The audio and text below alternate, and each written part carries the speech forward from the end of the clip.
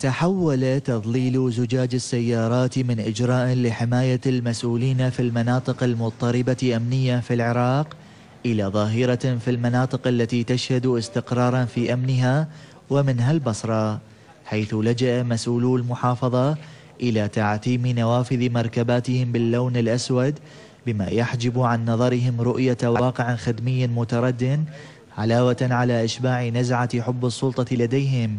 بحسب آراء بصريين هذا المسؤول حين ينظر من خلال الزجاج المظلل هو يرى الحقيقة كما هي. يرى بؤس مسؤوليته ويرى الواقع المزري الذي ازداد سوءا بوجوده. صعب السيارات المظلله والمصفح. المسألة لا تعدو أنه تكون عبارة عن مسألة وجاهه قدام عشيرته وقدام قرايبه وقدام إخوانه وقدام كذا. أنه أنا أركب سيارة مظلله اللي ممنوع عليكم أن تركبوها لكن أنا أركبهم و... و... وجاي أتمشى بالناس وقدامي حماية وراي حماية. وهو يدري كل الزين أنه إذا نزل واشترى من أي محل ما حد راح يعرف أنه عضو مجلس محافظه فأصحاب المركبات المظللة يؤشر مراقبون إلى أنهم أصبحوا طبقة جديدة بنظر المواطنين تحصل على مكاسب وامتيازات لا يحصلون عليها. وإلى أبعد من هذا الرأي يذهبون حيث يؤكدون بأن من يجلسون خلف النوافذ المظللة لا يفتحونها للفقراء رغم أنهم من أوصلوهم إلى دائرة الحكم والسلطة.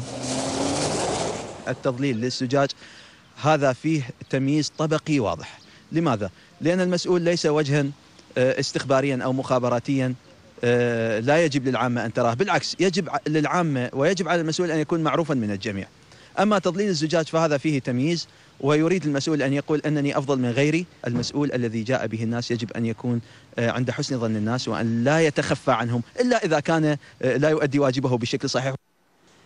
المركبات المظللة كانت مادة دسيمة إلى رسامي الكاريكاتير فمن خلال هذه الرسومات يوجهون نقدا لاذعا إلى المسؤولين الحكوميين الذين لا يرغبون وعلى ما يبدو بأن يشاهدوا ويشاهدوا من قبل الناس ربما لتقصيرهم في أداء واجباتهم. هم لديهم آه، قناعات بأن تعدد السيارات المظلة عند خروج المسؤول حتى تكون جزء من الخطة الأمنية التي يعيشها المسؤول.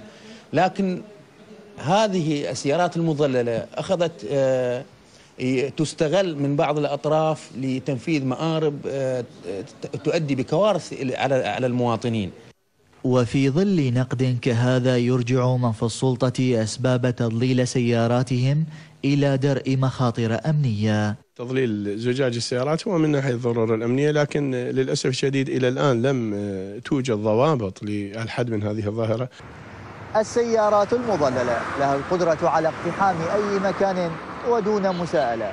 ولأمر بسيط من يقدر على محاسبة من بيدهم السلطة وزمام العقد والحل. من مدينة البصرة سعد فصيل القرة